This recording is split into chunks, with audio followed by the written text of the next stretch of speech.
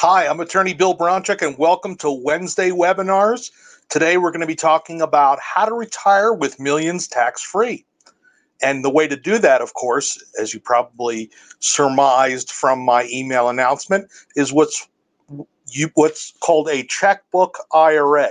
A checkbook IRA, which is a form of self-directed IRA that you can use to invest in real estate, amongst other things.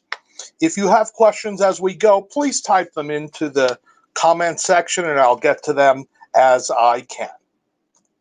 Some shocking retirement stats that I pulled off the internet. Median income of a retired person now is $22,000 a year. That is pitiful. Unless, of course, you live in rural Florida and you go to dinner at four o'clock. I don't think that's the kind of retirement we're all looking for. In retirement, 5% of people in this country will own 80% of the assets. By 2025, there'll be two workers for each retiree. Think about that one. When the Social Security system was first set up, there were something like 12 to 15 people working for each retiree to tax for the retirement generation. It's not like when the government takes Social Security out of your paycheck, they put it in what Al Gore used to call a lock box. It's not locked. They're taxing the next generation to pay for the retired generation. So it's just a marker. And if there's only two workers for each retiree in 2025, that means one or two things. One, the retirees are going to be getting less, or two, they're going to be getting it later as much as people don't like to touch that third rail in politics of touching Social Security and Medicare, they have to change the system. It's going to go broke because there's just less people working compared to retired people. And here's another interesting stat. In retirement age, 39% of people support their parents and or adult children at retirement. So not only do you have to worry about your retirement, you're going to have to worry about the retirement also taking care of either adult children or your at one or more of your aging parents. So there's different ways to get there. One of them is savings. Excuse me. One of them is savings. So let's look at savings.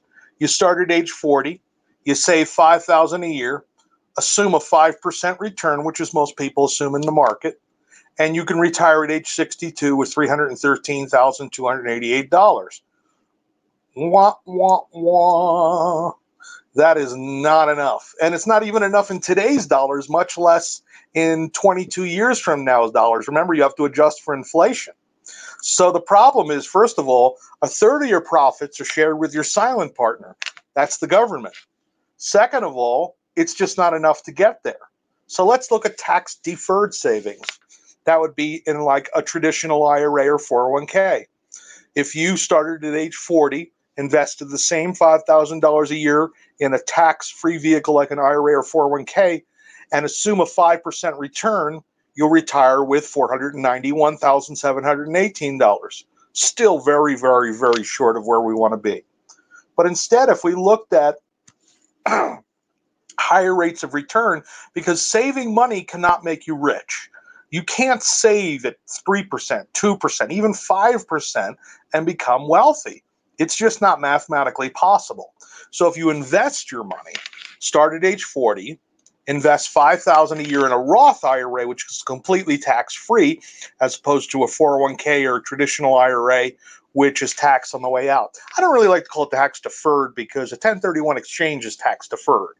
An IRA, even a traditional IRA or 401k, it's not tax deferred, it's tax free income. But to the extent and when you take it out, you're taxed on the way out. So it's not really tax deferred. That's not really an accurate description. It's tax free, but the question is do you get taxed on the way out or not? With a Roth, not you would retire at age 62 in this case with almost $3 million tax free, completely tax free. What changed? The return.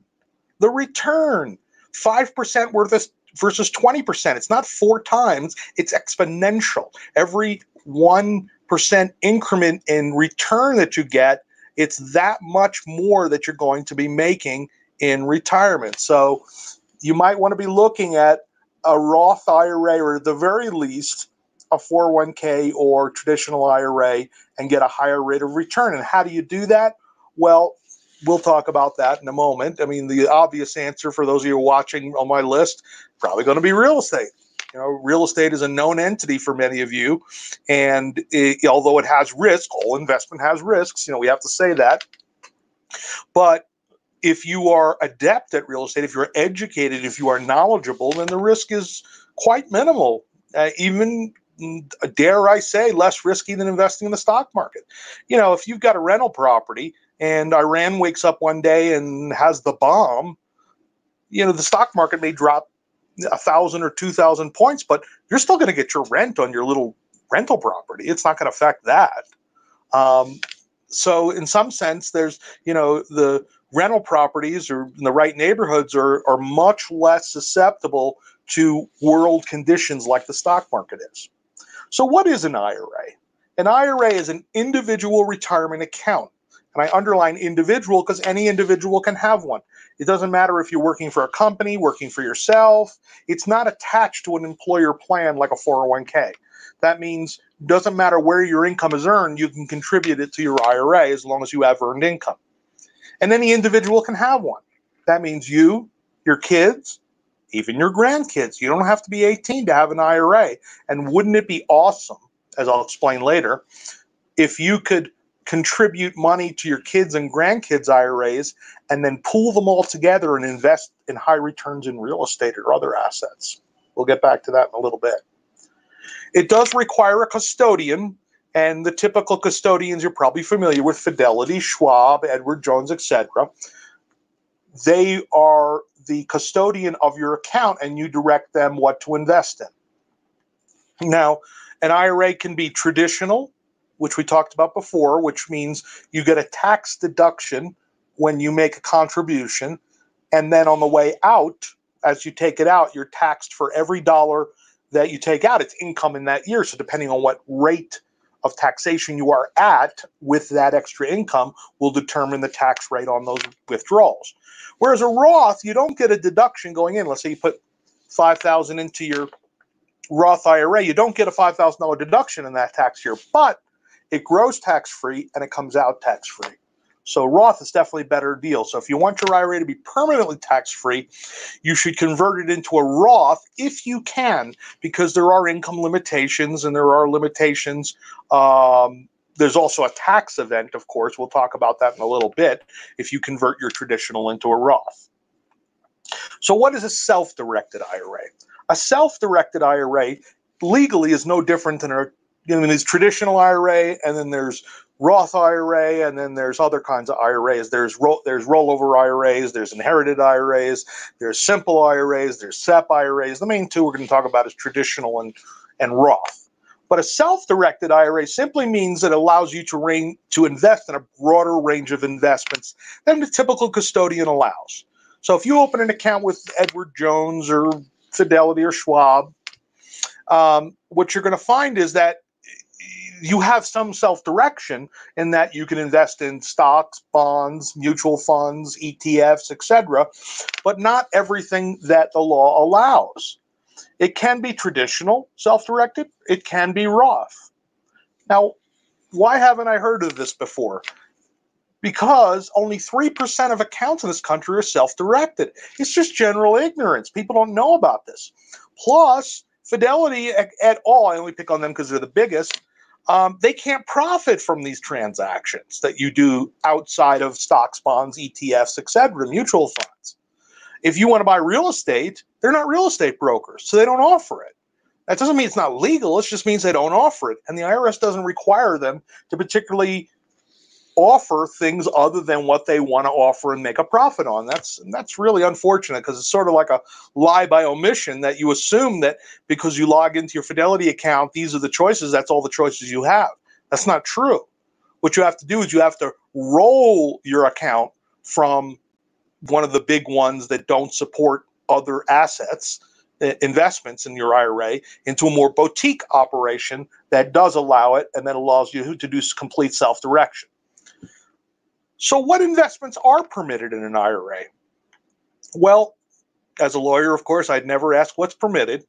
I asked what is disallowed. and we just don't do that. So here's what's disallowed the IRS code expressly prohibits collectibles and life insurance.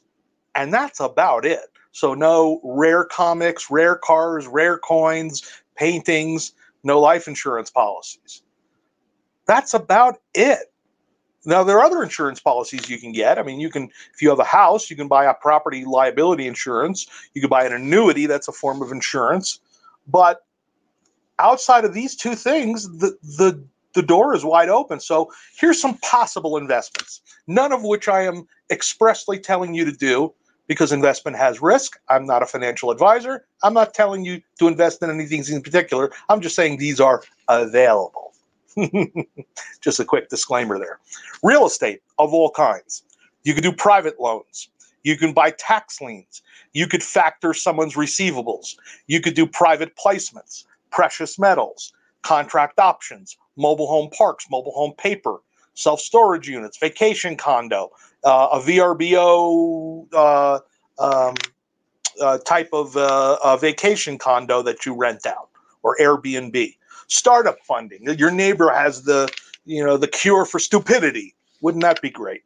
I'd invest 10 grand in that, become a multimillionaire, and so much more. So the only things that are expressly prohibited are collectibles and insurance. Everything else is fair game. But if you ask your current custodian if they're one of the big ones, they're going to say that's not allowed, or they're going to say it's too risky. Don't do those things. You know, too risky compared to what? Let me give you an example. Let's say you bought a rental home. Now, you don't take the money out of your IRA and put it in your personal or business account and then buy the real estate. Your IRA will own the deed to the property and the rents will be paid directly to your IRA account. It's not that Fidelity would ever do this, but let's say you had a Fidelity account and they allowed this. So the deed would say, as the owner, Fidelity Investments Incorporated, FBO, which means for benefit of, account number 1212642. Okay. The tenants would write checks to Fidelity Inc., FBO account number, et cetera, et cetera, et cetera. If there's any expenses, then you're going to fill out a form and direct your custodian to pay expenses. If there's any income, then you deposit it into your custodial account and you can't touch that money. You can't touch that money because that's a withdrawal. Okay. As long as the money goes into the IRA account, not into your hands, then you're good. And it's not a withdrawal, and the money is all tax free or tax deferred, depending on the type of account that you have. All right. When you're 59 and a half and retirement age or later, you could start taking withdrawals from your self directed IRA account. Now, we said there's only two things you can't invest in collectibles, insurance. That's easy. Nobody screws that up. But there are certain transactions that are inherently prohibited. And you should be aware of those because that gets a little sticky sometimes in the gray area. So there's first prohibited parties. You'll find that in IRC section 4975. That's Internal Revenue Code. You can Google it if you want, if you could follow it. I read I've read this section probably 50 times and I don't still fully understand it, but I understand it about as good as I can can, better than most. Um, but there's certain people that are disqualified from buying, selling, lending, borrowing, leasing, renting, you know, to from uh, your IRA. Okay. So who's the most disqualified party as opposed to your IRA? Who can't buy a piece of real estate from you and vice versa? Well, most people think your spouse, but actually that's true. Your spouse can't, But the most disqualified party is you. You and your IRA are two different parties. So if you own a piece of real estate, can you sell it to your IRA or put it in your IRA as a contribution and from now on it's tax free? Absolutely not that it's a prohibited transaction. So you can't borrow from your IRA, you can't lend to your IRA, you can't um, sell property or buy property from yourself, your spouse, parents, grandparents, children, grandchildren, and their spouses. Okay. So uh, in laws are okay, but um, when you go up and down, basically the lineal ascendancy and descendancy, they're all disqualified. So you can't do it with any of them or any of their IRAs. So your IRA and your spouse's IRA or your children's IRA or you and your children's IRA are disqualified. Okay? Now, earlier I talked about what about setting up IRAs for your for your kids and your grandkids and then pooling them together to invest in real estate or something like that. And the answer is there's an exception to the prohibited parties rule, and that is you can co invest in the same asset as long as you're buying it from somebody who isn't a disqualified party. What do I mean by co investing? Well, if person A and person B co purchased a property together, they would be co owners as tenants in common. Because they're purchasing it from a third person. Both of them would be if they put up 50-50 money they'd be 50-50 owners. So you and let's say your wife's ira or you your ira and your children's ira could co-own real estate together so long as it was purchased from a third party who wasn't disqualified that's the exception to prohibited party so if you wanted to you could take your your IRA account, your spouse's IRA, your three kids IRA and your five grandkids IRA. I think that's 10 accounts. And then all simultaneously purchase a property and co own it together as tenants in common. That would be a perfectly permitted transaction.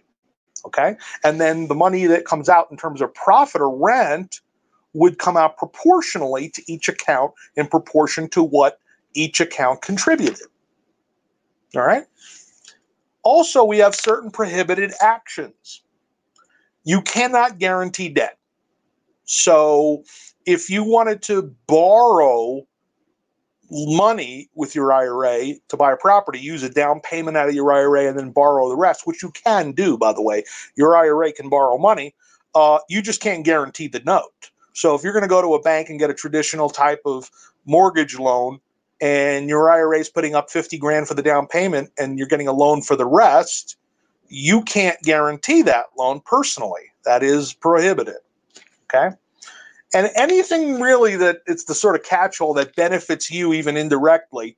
I mean, everything benefits you indirectly. I mean, really, let's let's be honest, because it's your IRA. But you can't, um, let's say, buy an investment property that's a vacation home and use it with your family or let one of your kids live in it. That's an indirect benefit to a disqualified party, which direct benefit actually to a disqualified party.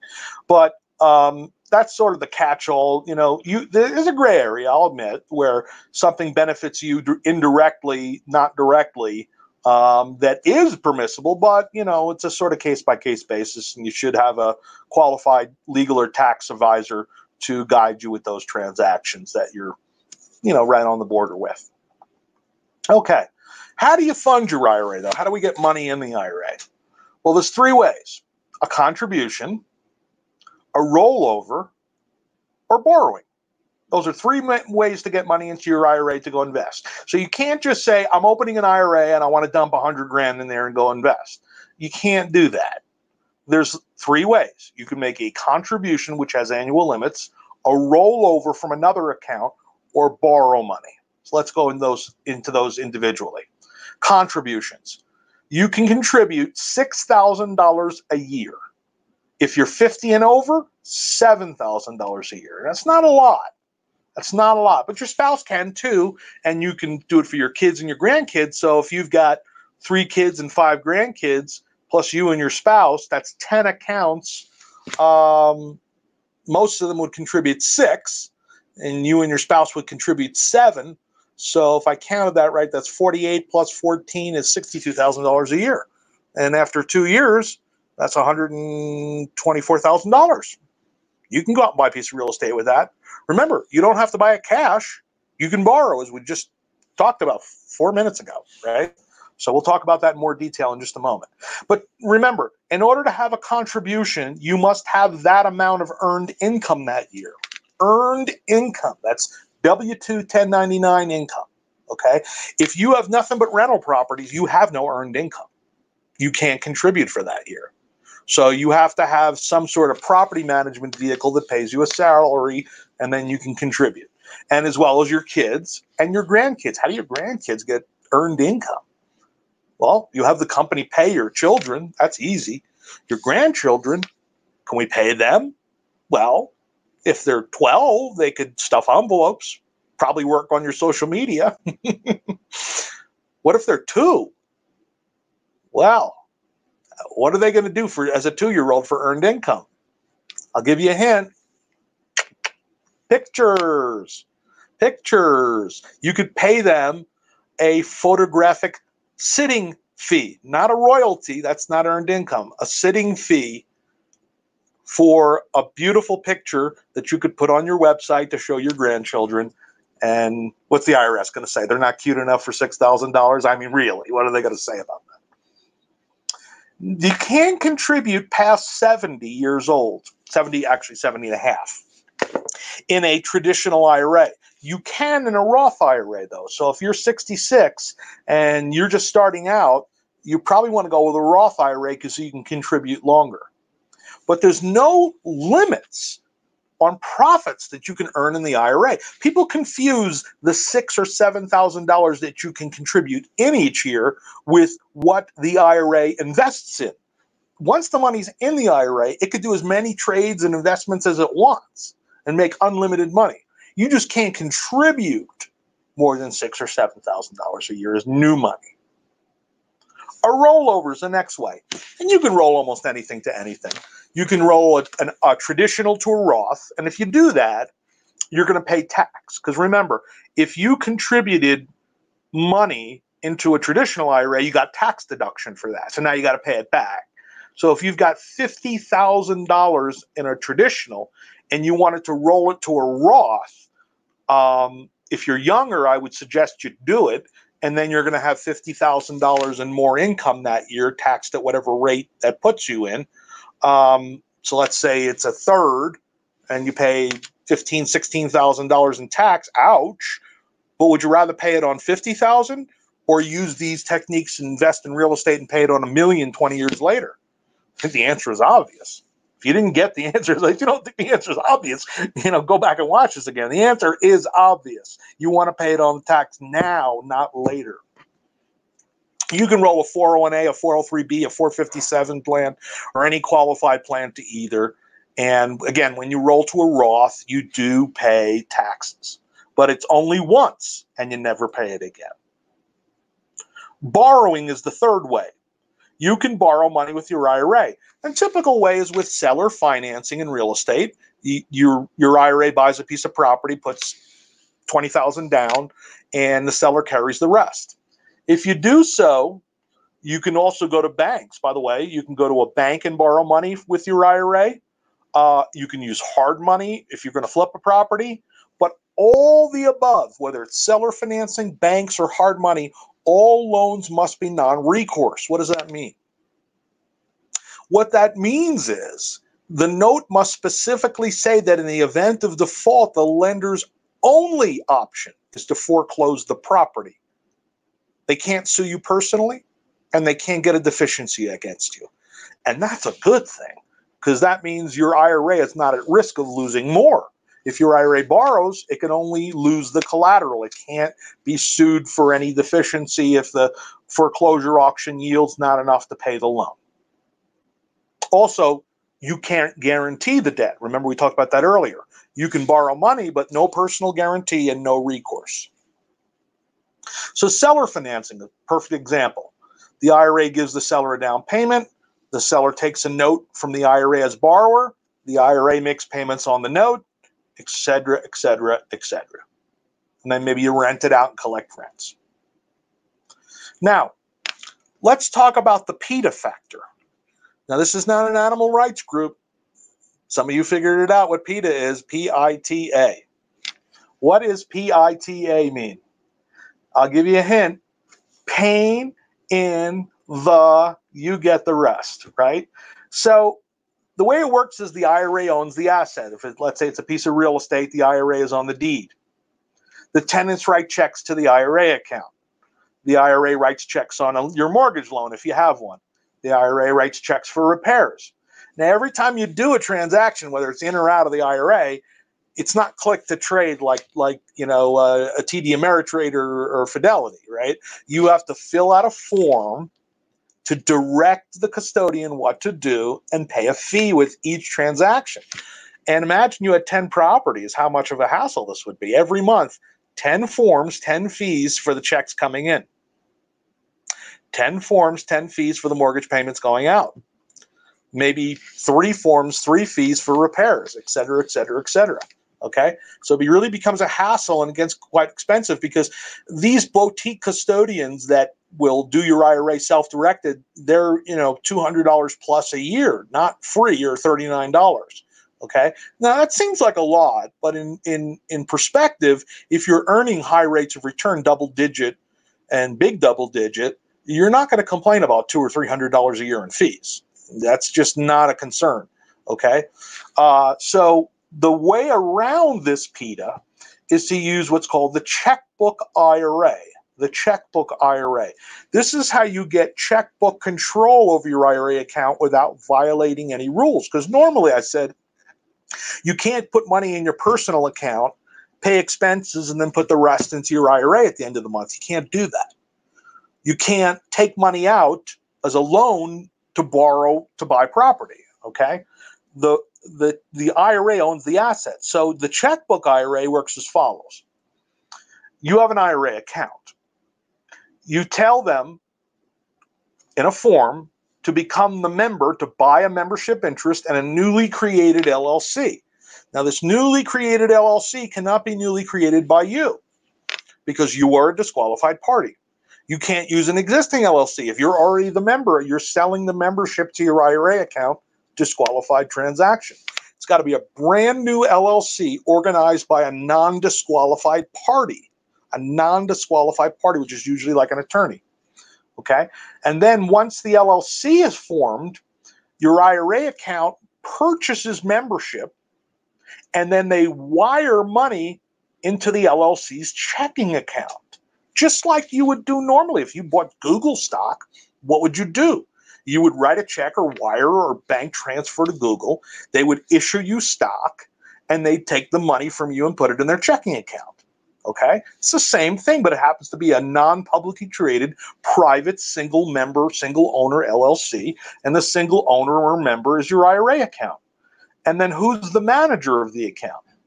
Ah, that would be you. You're a manager of the LLC. Now, you're not a member.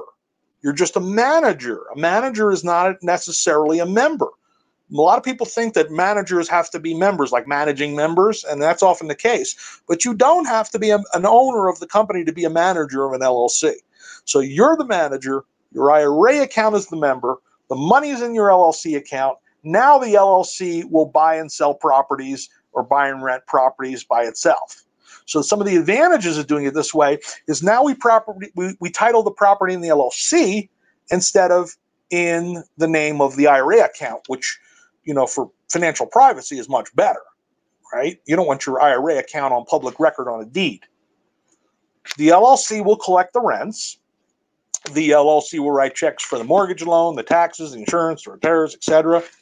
Okay and you have complete control over the funds. If you have to wire funds, you just go to your bank and wire funds. You don't have to contact the custodian to do that, which could take days. You could do it in a matter of minutes if you have online banking. Okay. And then when you're ready to take a withdrawal, when you're 59 and a half, you transfer money from the LLC back to the member, which is the IRA account, and take your withdrawal from there. And that's how it works. In the meantime, the funds and the assets sit in the name of the LLC, accumulating income, accumulating value, so on and so forth. Much, much easier way to do it. Much, much easier way to do it. So, as a service, something we offer is to help you, number one, roll over your account, organize your LLC, obtain your tax identification number, prepare a very specific operating agreement that's compliant with the IRS rules. Uh, you can't use something from LegalZoom or something generic like that. It doesn't work. Prepare a subscription agreement, which in which you're going to purchase the LLC membership, and then we have to draft an attorney opinion letter to the custodian. Every custodian wants an opinion letter that this is valid to cover their backside.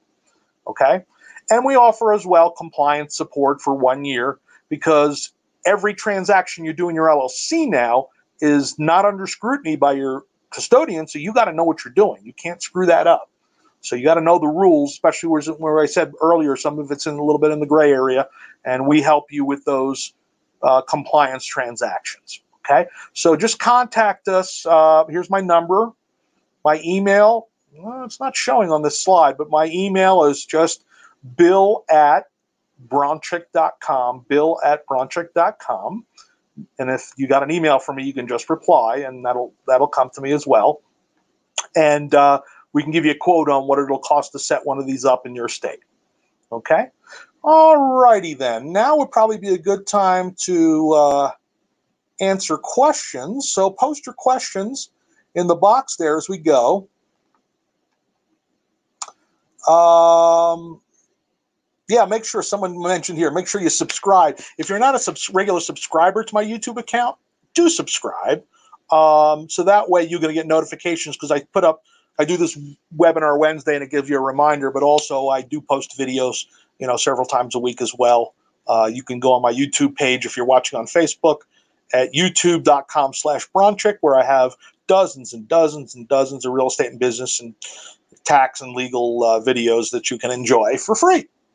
So make sure you sign up and subscribe. Okay. Some questions here. Uh, let's see. Susan asks um, With the checkbook IRA, do I have to file a tax return? Um, that's an excellent question, Susan. And the answer is the way I just described it, the answer would be no. And you don't need a federal income tax return because this LLC only has one member, one member.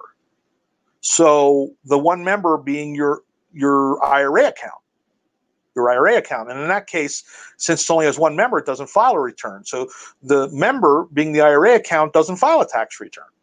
So there'd be no federal income tax reporting. Uh, Kathy asks, how much do you need in your IRA to start or roll over one self-directed? Well, the way I look at it, Kathy, is the vehicle is more important than the amount. Any deal that you can do with little or no money down can be done in an IRA with little or no money down. So if you had $5,000, could you use $1,000 earnest money on a purchase contract or an option or a lease option and then flip that and make 5 or 10 and now you've just, you know, you know, more than quadrupled, what is that, quintupled your uh, investment inside of 30 or 45 days. Um, and then when you get enough money in there, you could you can use a down payment and then borrow the rest, uh, or get seller financing to buy a piece of real estate, or partner with someone, or you know whatever. Any deal that can be done with little or no money down can be done little or no money down inside your uh, checkbook IRA. So you don't need a ton of money. And the more that helps, the better. Yeah. I mean, if you have a million dollars, and it would certainly make purchasing houses easier, at least in the short term before you refinance them, um, or if you're going to flip them. But uh, you, it's not an absolute necessity that you have any specific amount of money. Danny asks, "What's your thoughts on the property in the LLC versus a land trust?" Uh, both both, uh, Danny. Um, in the example where I mentioned earlier with co-ownership, um, you could set up a land trust, and the land trust would have beneficiaries, which would be like your IRA and your spouse's IRA. Uh, but still, you don't have a, a, checking account there to really um, to really deal in. So what I would suggest, if you want to do something with your, you know, your spouse and your kids and your grandkids, set up an LLC and have all of those accounts be the members.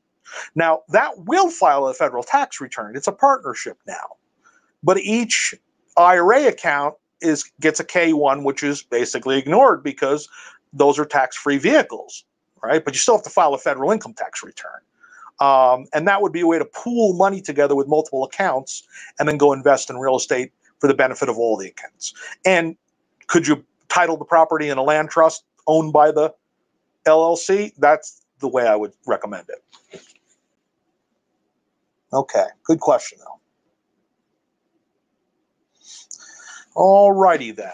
Uh, let's scroll down these comments here. Let's see. I already answered that one. And uh, oh, Jonathan has a good question. Um, can you roll a an employer plan like a 401a, which is a government like government 40, 401k, uh, into a self-directed plan? The answer is yes. You can roll a 401a, 403b, 457 plan. Any almost anything can be rolled into a self-directed plan. And that answers Danny's comment too, which is can I move my 401k to an IRA? And the answer is absolutely you can. Now, if you're working for that employer now, they may not let you roll that. You have to talk to your um, human resources a lot of them won't let you roll till you quit that job or you're over a certain age, but it's really up to the terms of their plan. So you have to ask human resources. Now, if you do have a 401k, by the way, you can borrow from it up to $50,000 if you have at least 50,000 vested. Um, and that's usually like a five year loan at five or six percent interest, but you're paying interest back to your own plan. So how bad is that? But the money goes into your own hands and is not tax free. So, I mean, as you earn money from it, it's tax free as you take the loan. But if you earn money from that, that's outside of your plan and is subject to tax. But hey, if you got 50 grand in a, in in a 401k, you're working for an employer. Uh, it's if it's not earning you double digit returns in the market, then maybe you want to invest some of it in real estate. Okay. Okay. Uh, can you self-direct a 401k? The answer is yes. If you have your own, you there's there's a vehicle known as a solo K or individual 401k. If it's just you or you and your spouse and no full-time vested employees, you can have a solo K. And a solo K, like a self-directed IRA, can be invested in anything you want because you're the trustee of the plan. Um, those plans do require a tax return generally, um, you but much have much higher contribution limits, much higher between you and your spouse. Over a hundred grand a year can be pumped in there, but you have to have income from that company and to to do that so you have to be you know paying yourself like 250 a year to get that big of a deduction and then you have matching just like in a 401k where but you're matching yourself because it's your own plan um, so if you're older and you have your own business and you have you have a lot of income and you have no employees other than you and your spouse, no full-time employees, then you may want to consider a self-directed 401k instead of a self-directed IRA, which has lower contribution limits. Okay, good questions, everybody. Alrighty then. Uh, I think that about does it for the questions. So thank you everybody for joining. Uh, give me a call or drop me an email at bill at bronchick.com if you're interested in setting up a checkbook IRA. Um, it's a one-time fee. We give you full support. We do it everything soup to nuts for you, and it's uh, a lot more affordable than you think it is. And um, if you know real estate or business, uh, other investments that are non traditional that you want to earn high rates of return, um, this is a great vehicle to do that with. All righty. Thanks everyone for joining. We'll see you next Wednesday. Signing off.